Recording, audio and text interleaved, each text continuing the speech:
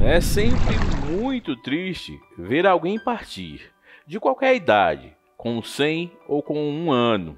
Bom, é muito mais triste ver alguém com muitos planos, sonhos, querendo viver, querendo conquistar e ir embora.